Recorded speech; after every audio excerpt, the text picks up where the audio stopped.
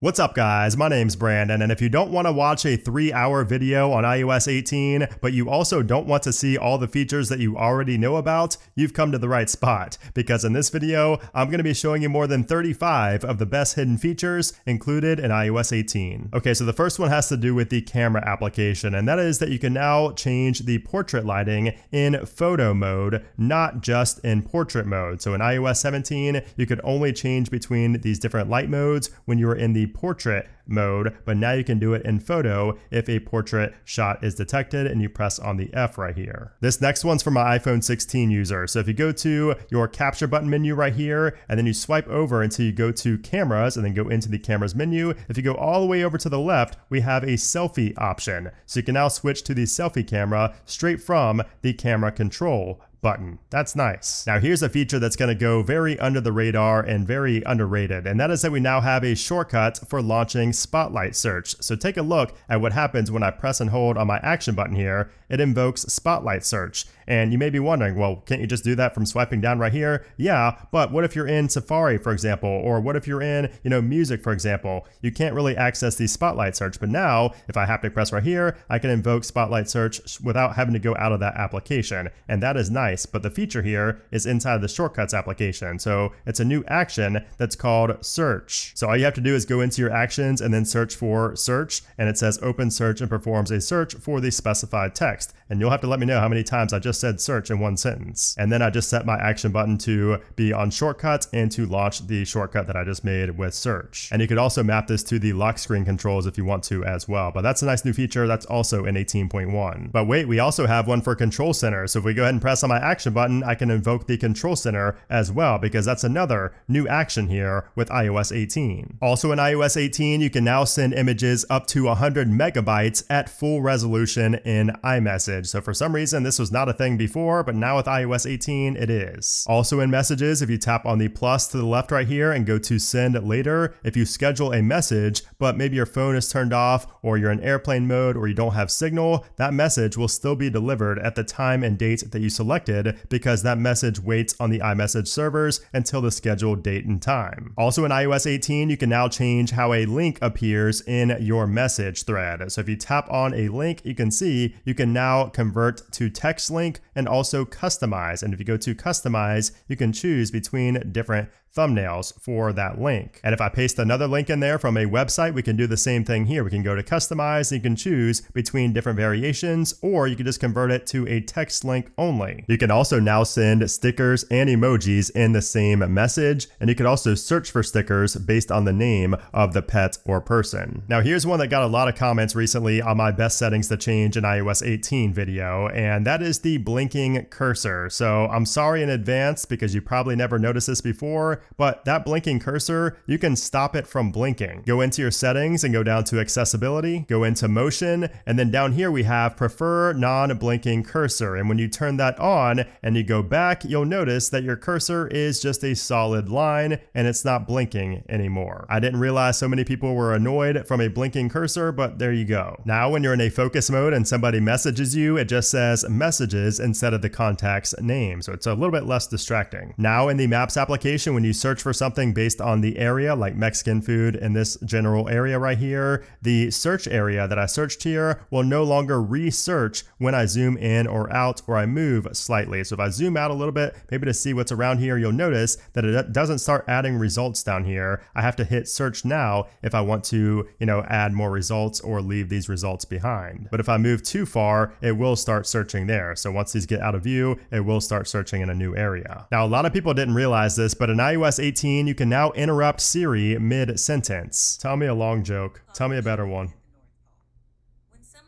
So you can see that you can interrupt Siri mid-sentence, but if you don't like that, you can change that in your settings. And if you go to accessibility, and then down here we have require Siri for interruptions. So if you don't want to be able to interrupt Siri, you can turn that off so that you need to say Siri or Hey Yes in order to interrupt. So you know how you can record voice notes in the Notes application? Well, did you know that you could also do it while your phone is locked? So if you lock your phone while you're recording a voice note, it will continue recording. And the Voice Memos application, you can easily replace words and sentences in a recording. So if you go into the recording right here, you'll notice that the first word down here is replace. So all you have to do is set this playhead at the part that you want to replace what comes after that, and it will record over it automatically. So if I tap on replace, you can see that it turns red, and now it replaces those you know wave lines with however I'm talking now, and it overwrites the existing recording. And then you get the option to save it as a new recording if you want. And this isn't really hidden, but a lot of people overlook it. You could also add voice memos to your lock screen as a toggle, and if you haptic press on that, it will just start recording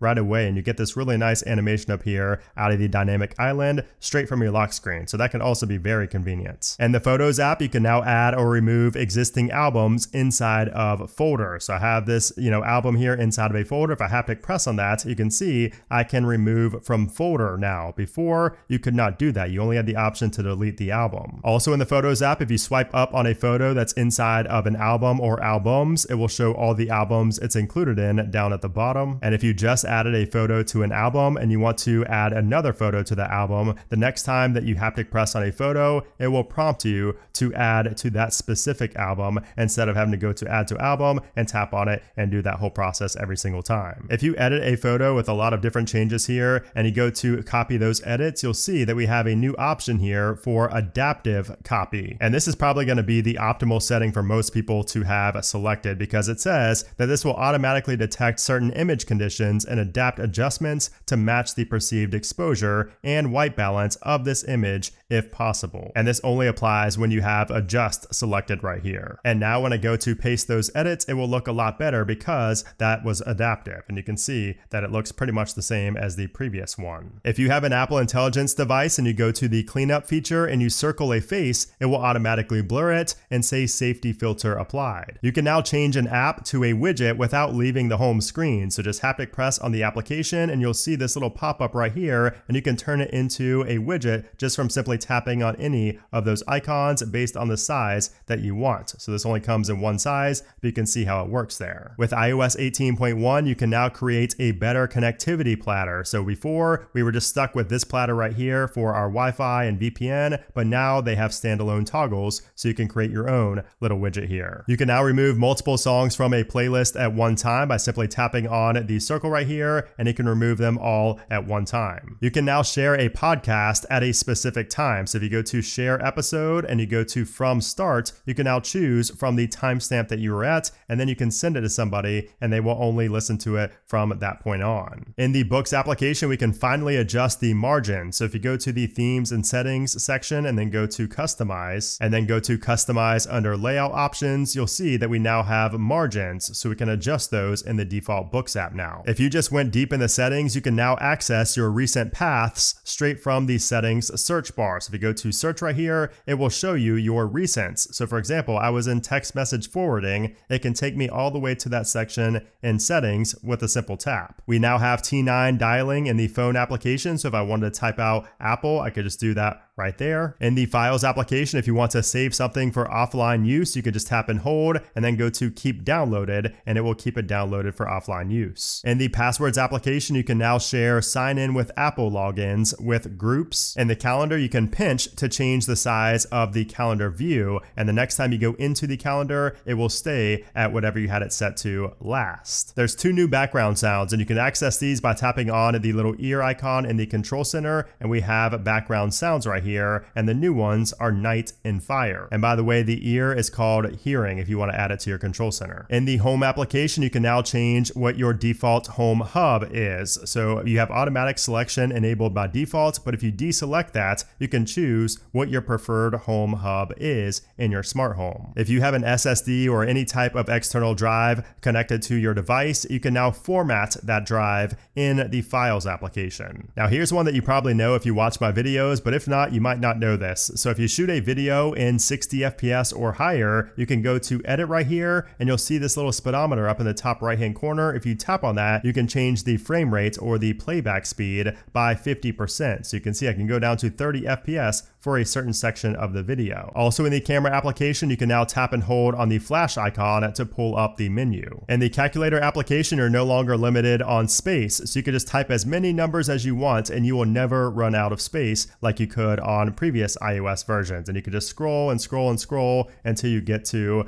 whatever number you're looking to get to. The math notes feature is actually really useful if you know how to use it. So I have written out some tax deductions here along with a price next to them. So if you write it like this, you can actually add everything up and have a math problem based on these variables. And if I type in equals, you can see it will select those items and give me the result right there. And it's not just for math problems either. You could also do this for conversions. In iOS 18, when you turn off the flashlight, it slowly fades away instead of going out right away like it did in iOS 17. And then the final one is if your phone is dead, you can now keep track of the time. So you can see when the phone's dead, we still have the time up there in the top left-hand corner. So those are some of my favorite hidden iOS 18 features. So if you watch my channel religiously, if you watch the three hour video, you probably already knew at least most of these, but if not, if you found at least a couple of useful features in this video, I would appreciate if you gave it a thumbs up. And also if you're new here, make sure to subscribe. I make a lot of iOS 18 and iPhone 16 now videos. So anyways, guys, thanks for watching and I'll see you soon.